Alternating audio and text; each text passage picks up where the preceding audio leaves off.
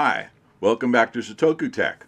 Hey, let's check out chat search on Bing, and I want to figure out, let's compare and contrast ESP8266, ESP32, ESP32C3, and we're going to check out ESP32S3 as well.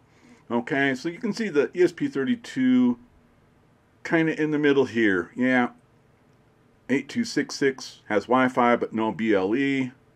ESP32 Wi-Fi BLE 4.2. There's some limitations, but the C3 has the BLE 5.0 available. Obviously, ESP32 has the most pins out of the out of these options. And I, I yeah, as far as ADC and DAC, there's a lot of options. The ESP32C3 is a RISC-V single-core chip. We'll talk about RISC-V a little bit later. So here are the differences. ESP8266 is single core, and ESP32 is dual core. C3 is single core RISC-V. Okay, ESP8266 has less RAM, does not support Bluetooth. ESP8266 does not have an Ethernet interface. ESP32 has an Ethernet interface? I didn't know that. Uh, ESP8266 does not have cryptographic acceleration. Hey, this is cool. Let's check out this link here. Yeah, look for the link in the description down below. This is a great comparison of all of the various ESP products. So I think this is worth this was worth uh, the whole effort so far. So I'm, I'm actually very happy to stumble across here. You can see when each of these was introduced.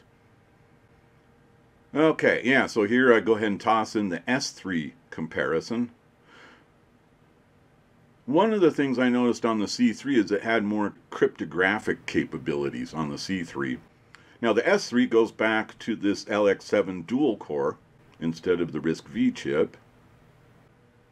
Okay, it's got the BLE 5.0 as the advantage there. And it does have more cryptographic capabilities. Or does it? Is that column just narrower? oh, that's interesting. ESP S32. I didn't know there was an ESP32 S2. So we're going to want, want to check all this out. Okay, single core versus dual cores for uh, 8266 versus 32 and 32S3. Less RAM on the 8266. No Bluetooth. I still don't know about that Ethernet interface on ESP32. Okay. ESP32S3 has a USB host interface. I guess that means it can mimic a keyboard and mouse when attached to your computer. Okay. And, you know, using this chat search, it gives you uh, different options for additional questions. So you can continue to dig deeper. Obviously, you click on which one's cheaper. We know which one's cheaper, most likely. But I thought I'd ask the question anyway. Yeah, 8266 is generally cheaper. According to some sources, I like it returned it in, in RMBs. You know, some of the advantages of the C3, that single core RISC chip, is more powerful, more power efficient.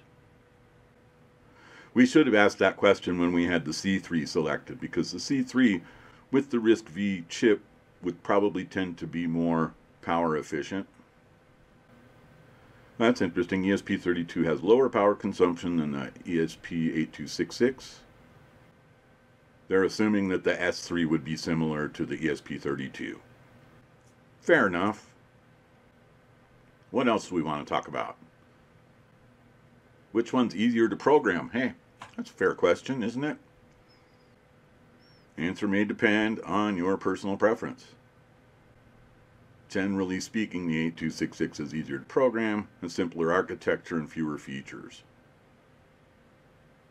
Larger and more mature community of developers,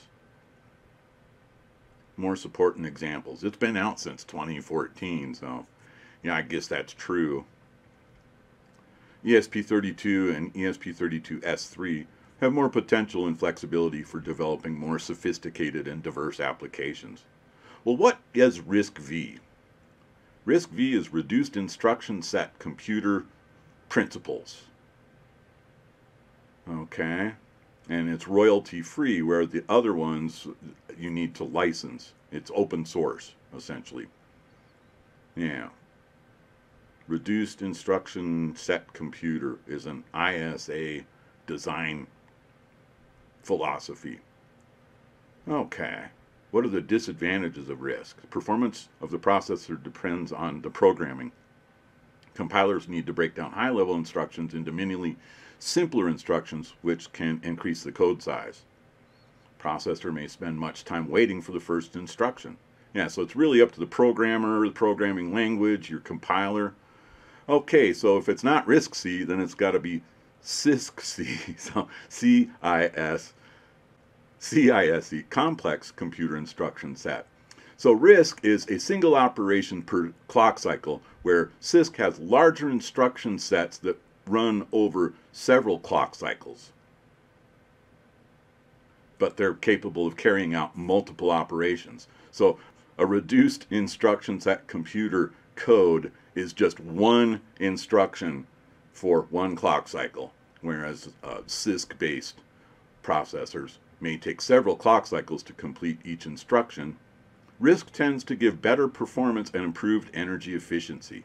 So examples of CISC processors are the common AMD and Intel chips we're familiar with. And if you're into Raspberry Pi, you know about ARM chips, and that those are RISC processors. ARM, MIPS, PowerPC, and SPARC. I haven't heard MIPS, PowerPC, and SPARC in a while. Anyway, I hope that was educational for you. Leave a comment down below. Give this video a like. And before you go watch more of my videos, please click on subscribe. Thank you very much.